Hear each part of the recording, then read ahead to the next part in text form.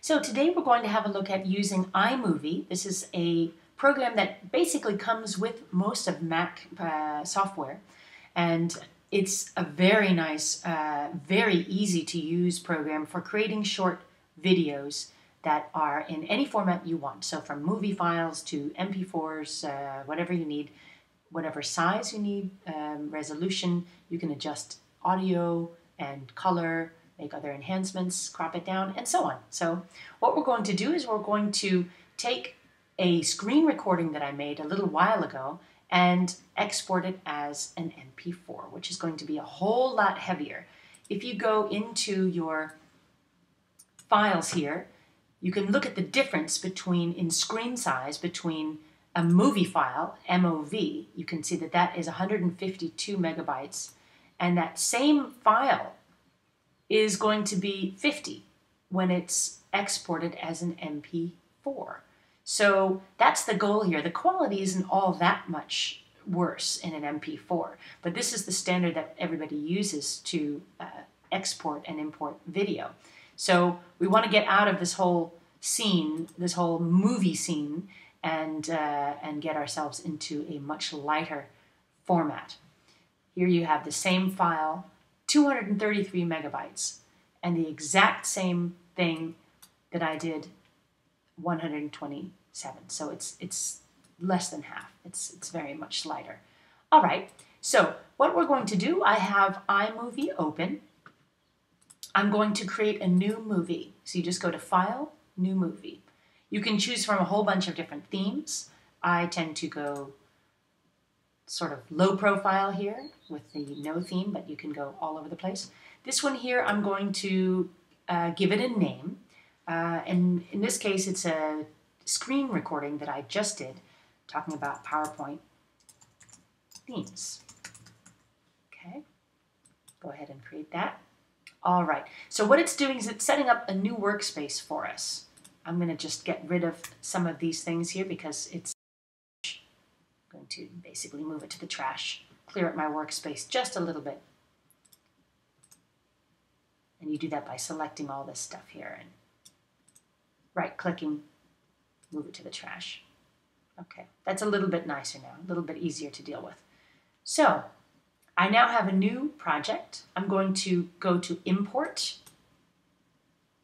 I'm going to import that movie file that I just created, which is a screen recording. All right, let's go find it.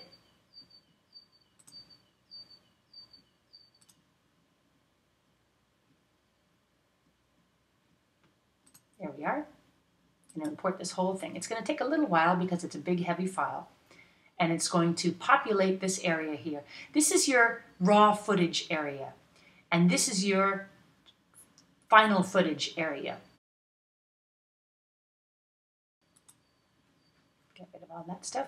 Now it's finished populating. So we're all got the entire screen recording in here. It's about um, ah, maybe 10 minute thing. So this is it right here. It starts here. This is the last thing that we imported, and it's a little difficult to see, but you can kind of get an idea of it by looking at the content to see where things start and end. This one here will end right there. There's a little gap here, and then this file starts. So I'm going to select this whole thing all the way to the bitter end here.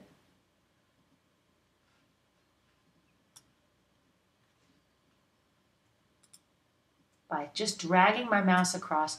And you see that it's turning yellow. And when it's yellow, it's selected. So I'm just going to pull this whole thing down into this area. All right, now this is, this is my work area. And this is the place where I can make cuts and make other selections. So I had a kind of, an, of a goof up in here where I was talking about something and I, and I clicked the wrong file. And I just want to erase that. That just doesn't look right. So I'm just going to go ahead and using my mouse here, this is the end of the file, using my mouse here, I can adjust where I want a video to break. So I'm just going to scroll along and kind of pull it out until I find the place that I want to cut that piece out. And I just take my mouse and I kind of scroll along. There we go. It's right about here that I want to break it. All right. So, and you can see here with the audio underneath where you want to break it. Just to make sure you click on that area where right before the break and with the right mouse click you say play. And you can hear the video going on and you can say, okay, this is exactly the spot where I want to make that break. Okay, now I'm going to take that same item again and pull it in right next to it. This is a copy of the original piece that we had. And this time I'm going to cut out this first part so that it effectively skips the stupid mistake that I made. So I'm going to just scroll this all the way over until I cover that silly part up right there. I think that's about right, just like that. And you can go ahead and listen to it and make sure that the cut is right.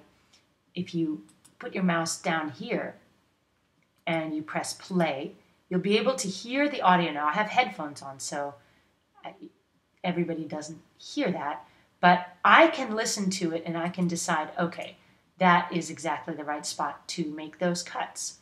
Okay, now the other thing I want to do is I want to pump up the volume a little bit on this because the volume is a little bit too light. So you have an enhance area here.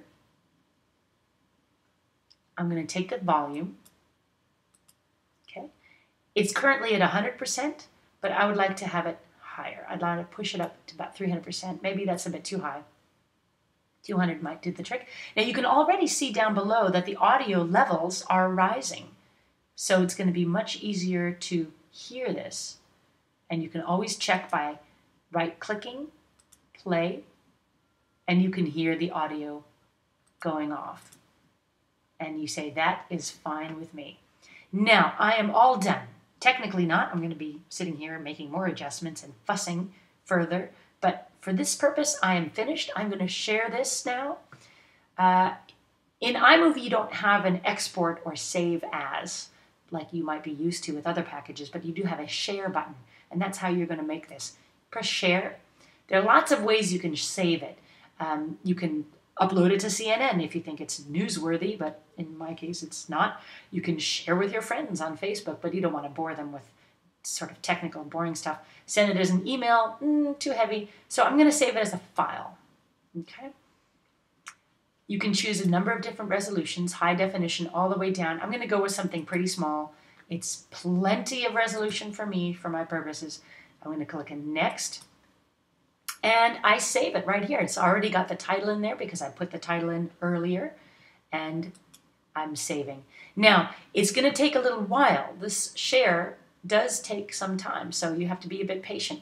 If you click on the theater tab at the top here, you can generally get a glimpse of what's going on. Now you can see how hard it's working. It's kind of panting to keep up, but here we go. This is the area where it's telling me that it's working on a video. You can see that this one that we just shared, creating a PowerPoint theme, is puffing and puffing and on its way. And these other ones are already finished. And once you're finished, you will see it appear right here where you have it, right next to the other one. And that's it.